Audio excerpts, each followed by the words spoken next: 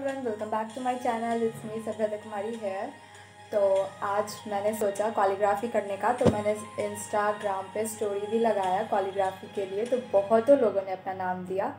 So let's start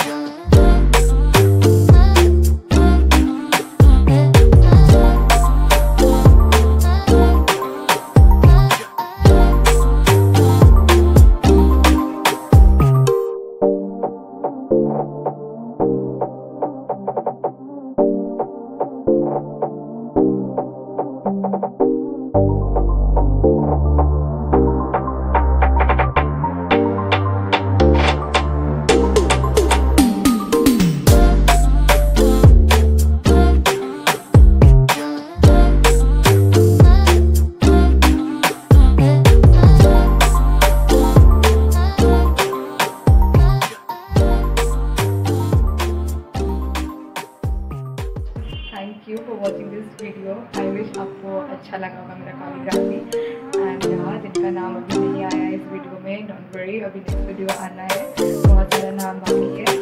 और ये video already बहुत लंबा हो चुका था तो नेक्स्ट वीडियो जल्दी आएगा. तब तक इस वीडियो पे लाइक